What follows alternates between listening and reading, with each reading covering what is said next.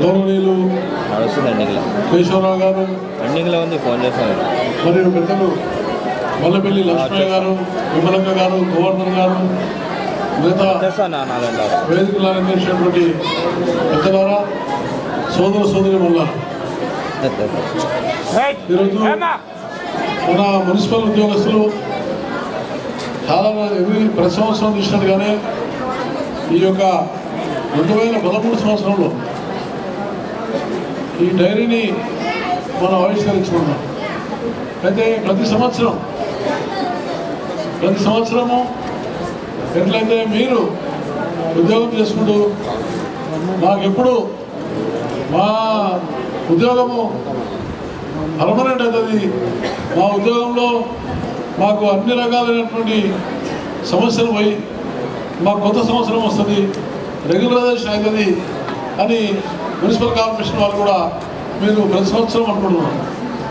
అట్లనే తెలంగాణ వాళ్ళందరూ కూడా రెండు వేల తొమ్మిదిలో కానీ రెండు వేల పదిలో కానీ రెండు వేల పదకొండులో కానీ రెండు వేల పన్నెండులో కూడా ప్రతి సంవత్సరం తెలంగాణ వస్తుందనే ఆశతోటి యుద్ధమాలు కృష్ణ కాబట్టి ఈ రెండు వేల పదమూడులో కూడా మనం ఆశిద్దాం.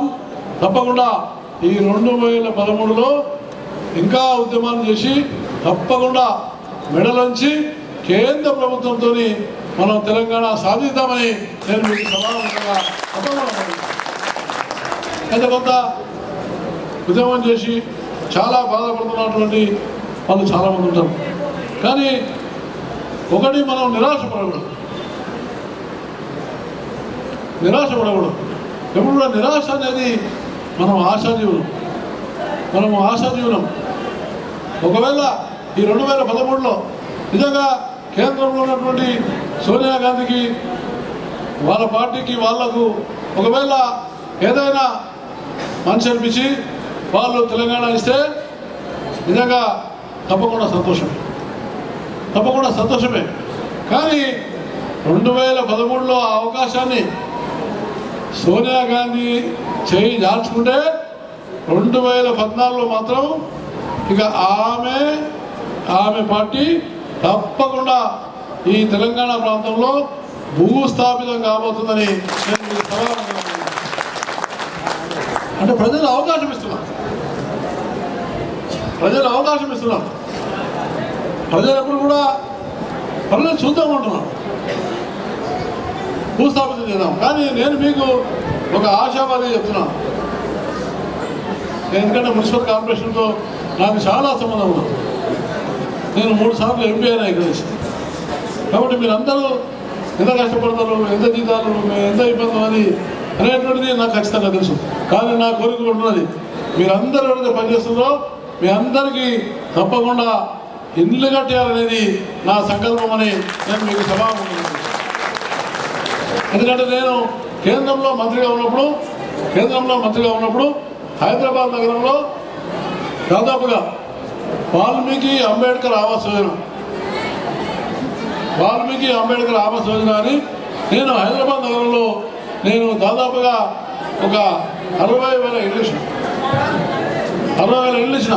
కాబట్టి మీరు తప్పకుండా ఇలాంటి విషయాల మీద కూడా మీకు తప్పకుండా మీ జీవితంలో మీకు ఆశిస్తున్నారు అయితే తెలంగాణ ఏర్పడితే తప్పకుండా ఒకవేళ తెలంగాణ ఏర్పడితే మీకు తప్పకుండా అనుకున్నటువంటి లబ్ధి అనుకున్నటువంటి లాభము తప్పకుండా వస్తుందనే విశ్వాసము నాకు తప్పకుండా ఉందని నేను మీకు సభాముఖంగా తప్పకుండా మనం మీకు చాలా సమస్యలు ఉన్నాయి. చాలామంది చాలా అంటే మీ యొక్క యూనియన్ పెట్టుకొని మీరు సాధించాలని చాలా ప్రయత్నం చేస్తున్నారు. మీకు పెన్షన్లలో చాలా కష్టం ఉంది. మీ పనులలో మిమ్మల్ని కాంట్రాక్ట్ లెవెల్ పెట్టి మిమ్మల్ని దోషం తింటున్నాం కాంట్రాక్ట్ లెవెల్ పెట్టి మీకు వచ్చే డబ్బులు.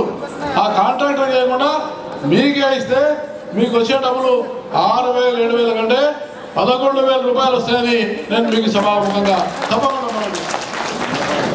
దాన్ని ప్రభుత్వం ఎవరినో కాంట్రాక్ట్ పెట్టి వాళ్ళ దగ్గరికి వెళ్ళి మళ్ళీ వానికి సగం పైసలు ఇచ్చి మనకు సగం పైసలు ఇచ్చేటువంటిది ఏదైతుందో ఇది సరైనటువంటి విధానం కాదు. ఇది సరైనటువంటి విధానం కాదు. ఇది చాలా తప్పిది. ఇచ్చే జీతంలాగా ఇచ్చే జీతంలాగా మీకే ఇచ్చి మిమ్మల్ని రెగ్యులరైజ్ చేయాలి. ఇప్పుడు రోజు రోజుకు మున్సిపల్ కార్పొరేషన్లో తగ్గిస్తున్నాం. కాంట్రాక్ట్ లెవెల్ పెంచుతున్నాం. పర్మనెంట్గా పనిచేసే వాళ్ళను తగ్గిస్తున్నారు కాబట్టి దీన్ని కూడా మనం వ్యతిరేకించాల్సిన అవసరం ఉన్నది. తప్పకుండా నాకైతే నమ్మకం ఉంది.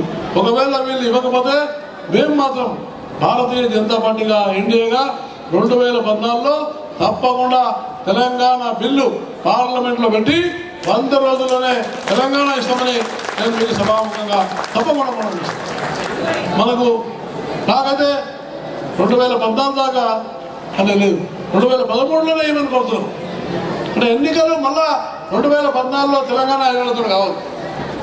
మీ సమస్యల మీద కావాలి. మీ సమస్యల మీద కావాలి.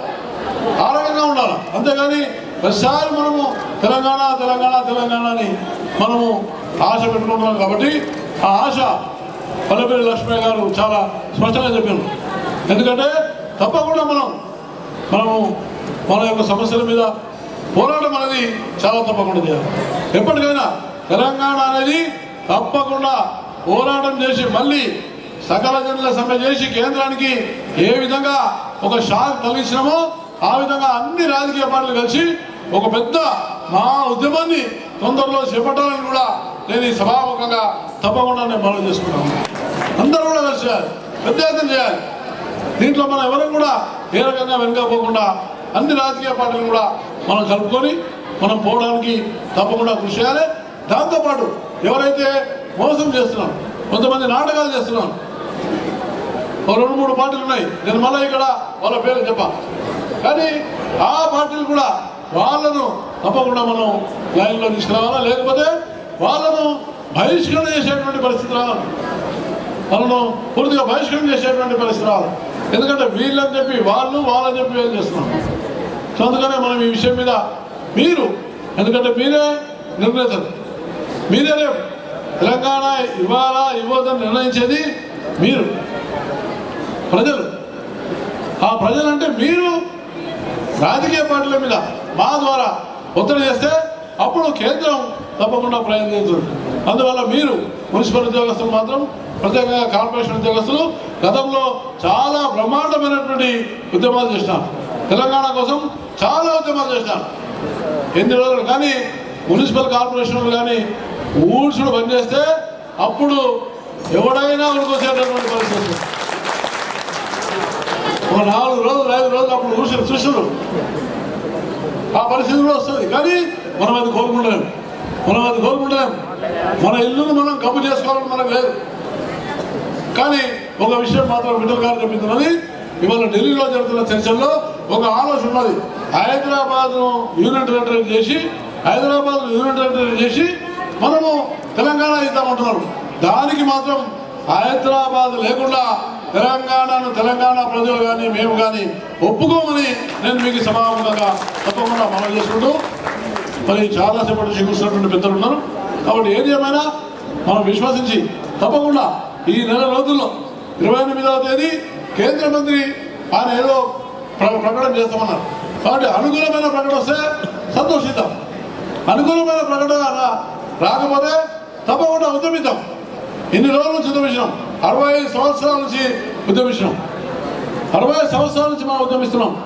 కాబట్టి మనము ఏ రకంగా ఉద్యమానికి కూడా సిద్ధంగా ఉండాలని నేను మీకు సభాముఖంగా తప్పకుండా మనం చేస్తూ నాకు అవకాశం కల్పించినటువంటి యాదయ్య గారికి హృదయపూర్వకమైనటువంటి ధన్యవాదాలు తెలియజేస్తూ సెలవు తీసుకుంటాను జై తెలంగాణ!